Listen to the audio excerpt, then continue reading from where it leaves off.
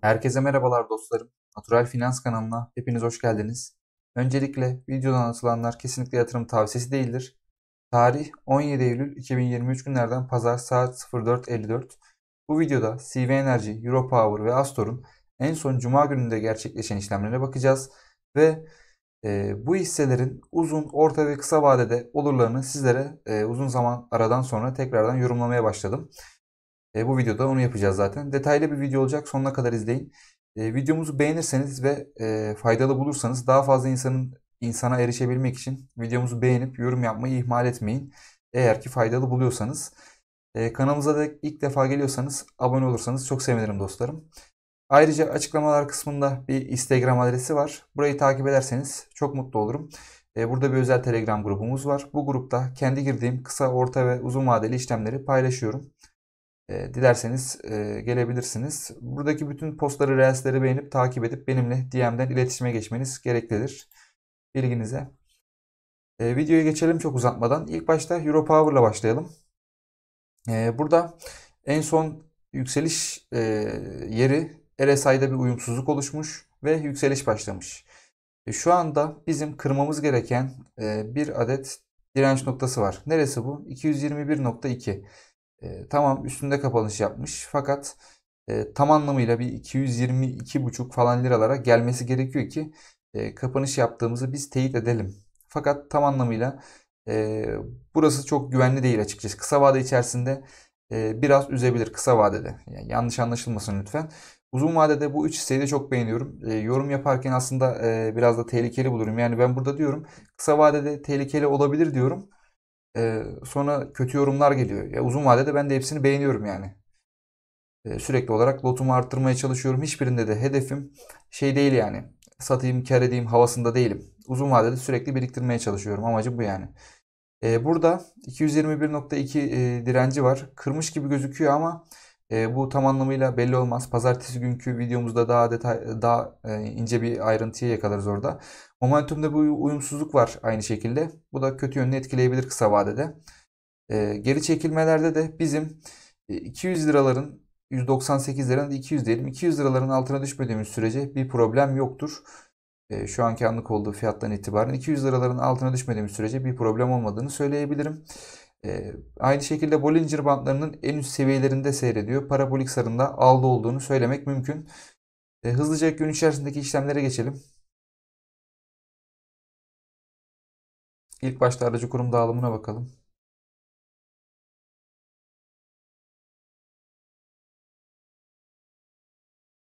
E, tarihini 15 alacağız tabii ki. Niye alamıyoruz?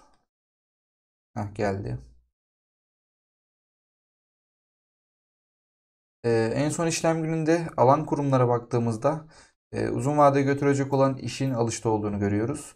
E, onun haricinde başka olumlu bir şey e, alanlar bu şekilde ince, inceleyebilirsiniz. HSBC alanların %23'ünü oluşturuyor. 141 bin not. İş ikinci sırada %21'ini oluşturuyor. 129 bin not. Halk 3. sırada %14'ünü oluşturuyor. 85 bin not. Deniz, Marbaş, Osmanlı A1 Kapital, TEP, ALB Yatırım, Taciler ve diğerleri şeklinde sıralanıyor. Çoğunlukla aracı kurumların aldığı bir işlem günündeydi en son günde. Satanlarda da e, yabancı yatırımcının e, bir miktar satışı var. Fakat en önemli satış QNB Finans'ta. E, %45'i sat, satmış bugün. E, satışların %45'ini oluşturuyor Cuma gününde. 272 bin nota bedel. Yapı kredi satanların %12'sini oluşturuyor 75 bin not. Yatırım finansman, Bank of America, AK, Gedik, Pilip, Şeker, e, Oyak ve Türk İş diğerleri şeklinde sıralanıyor. Hızlıca e, derinliğine geçelim. Gecenin e, geç saatinde çektiğim için e, biraz ses kısık gelebilir. Kulaklık takarsanız daha iyi anlarsınız. Ve 10 kademe derinlikte burada baktığımızda 13 bin not alış emri 78 bin notta satış emri. Pazartesileri genellikle e, olumlu oluyorlar fakat yani bugün hafta içi bir gün olsaydı açılış negatif yönlü olabilir diyebilirdim. Fakat e, aç, yani hafta sonu olduğu için ve önümüzdeki gün pazartesi olduğu için pek de yorum yapmak mümkün değil açılış adına. E, bekleyip göreceğiz. Derinlik bu şekilde. Derinlikte satışların çok bariz bir şekilde baskın olduğunu söylemek mümkün. 10 kademe derinlikte. E, fakat genel anlamda derinlikte e, çok bir fark yok yani alışlarla satışlar arasında. Fakat satışlar azıcık daha farklı olsa da baskın. Ee, bir de takaslarına bakalım hızlıca. Bunun tarihini bir takaslar ne durumdaymış. Direkt takasları göstereyim hatta diğerlerinde aracı kurum dağılımı pek bir önem arz etmiyor. Ellerinde fazla olan kurumlar alıştaysa bizim için problem yoktur. Bakalım şöyle. E, buradaki kurumlara bakalım. 9 kurum oluşuyor galiba. Burada 9 veya 10. En son işlem gününde şöyle bir e, ufak bir şeyle baktığımızda e, 100 bin not, 107 bin not genel anlamda alıştalar gibi gözüküyor. Özellikle işte e, en ciddi miktar alıştaydı e, bu önemli kurumlar arasında. Takas analizinin olumlu olduğunu söyleyebiliriz Europower'da. Herhangi sağlıksız bir durum yok benim açımdan. E, bir diğer hissemize geçelim. Kafanıza takılan bir şey olursa yorumlarda belirtmekten çekinmeyin. Şöyle grafik yüklensin bir. Aynı şekilde bunda da momentumda bir uyumsuzluk oluşmuş. Bu da kısa vadeli e, sıkıntılar yaratabilir. E, bizim bakacağımız nokta burada. Şurada e, 135'in altına kırma, kırmaması gerekir. Fakat kırsa da bir şekilde 129'un üstünde kalması gerekir. Yükselişin devam edebilmesi için Astor adına. Astor'dayız şu anda. Başka da Parabolik Sar alda ve gün içerisinde Bollinger bandlarının en üstüne kadar gelmeye çalışmış fakat son bir saat içerisinde satış yemiş. Zaten o son bir saat içerisinde gelmeye çalışıp o saat içerisinde tekrardan satış yemiş. Yani burada bir baskı var. E, kırabilir mi kıramaz mı bilmiyorum. Fakat e, yukarı yönlü bir hareket sergilerse de bizim ilk karşılaşacağımız e, direnç noktası da 150 şeklinde, 150.5 şeklinde. E, başka da söyleyebilecek bir şeyimiz yok. E, umalım ki çıkar, 150'ye ulaşır. Fakat kısa vadede bir miktar daha üzebilir. Endeksin gidişatı da çok önemli tabii ki. Endeks yani bariz bir şekilde satışta. Son 3 gündür, 3 günün bir gününde alıştaydı yanılmıyorsam. E, endekste bariz bir baskıda şu anda. Endeks hakkında da yorum gelecek zaten merak etmeyin hafta içinde. Astor'un e, işlemlerine bakalım ne olmuş. Aracı kurum dağılımı gereksiz aslında. E, sadece göstereyim. Sonra e, niye göstermedi oluyor. HSBC bunda da bariz bir şekilde e, alışta. Europower'da olduğu gibi. Alan kurumlarda çok büyük bir bariz bir fark yok. Fakat e, bunda biraz daha uzun vade götürecek olan kurumlar ekstradan dağılışta, vakıfta, QNB Finans'ta, halk dağılışta. E, yabancı yatırımcının oranı biraz Europower'a kıyasla yüksek. E, fakat burada bir diğer yabancı yatırımcı da bariz bir şekilde e, satışların çok yüksek oranını oluşturuyor. Ee, burada yani yabancıda çok yüksek oranda satış varmış. Astor'un en büyük düşmesinin sebebi Cuma günü yabancı yatırımcıymış. Yani yabancı yatırımcının stratejisi de şu şekilde oluyor genelde. Ee, bir gün iki gün alıp e, bir gün iki gün satmak, bir gün iki gün alıp bir gün iki gün satmak. Yani satıştalarsa mantıken e, pazartesi günü e, alışa dönmeleri an meselesi olabilir. Satış tarafı da bu şekilde. Derinliğine bakalım. 10 kademe derinlikte bariz bir şekilde alışlar baskın. Yani 139 fiyatından yani anlık olduğu fiyattan 257 bin not alış emri olduğunu söyleyebiliriz ki e, bu da bizim için ne ifade ediyor? E, düşmesinin biraz daha zor olacağı anlamına geliyor olabilir. Özellikle açılışta biraz e, hacim yakalayabilir. E, bakıp göreceğiz. Biz de tam olarak bilmiyoruz. Fakat hafta sonu yani bu derinliğin çok da bir anlamı yok. E, direkt takas analizine göstermek istiyorum sizlere. Şöyle.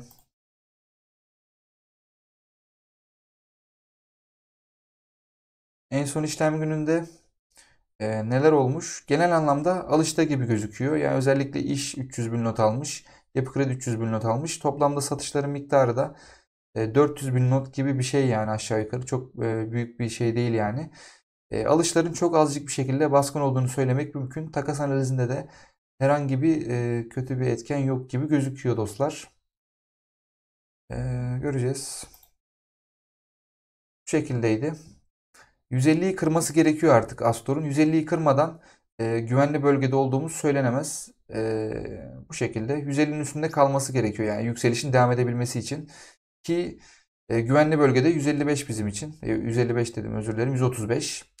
E, 155'in üstünde bizim için yükselişin devam edeceği anlamına gelir benim için. Bir diğer hissemize geçelim. Evet dostlar, CV Enerji'deyiz. Benim uzun vade açısından e, çok beğendiğim bir hisse zaten. Sık sık eski videolarımı e, beni uzun zamandır takip edenler bilir. Aynı şekilde bunda da MACD'de bir uyumsuzluk var. E, ne hikmetse yani aynı yerden alışlar, aynı yerden satışlar, aynı yerden uyumsuzluklar e, meydana geliyor ki bu da e, yatırımcının aynı yatırımcı olduğunu gösteriyor olabilir bizlere. Yani çok e, bariz bir şekilde farklı hareket etmiyorlar zaten. Uzun zamandır takipteyiz biz bu hisseleri.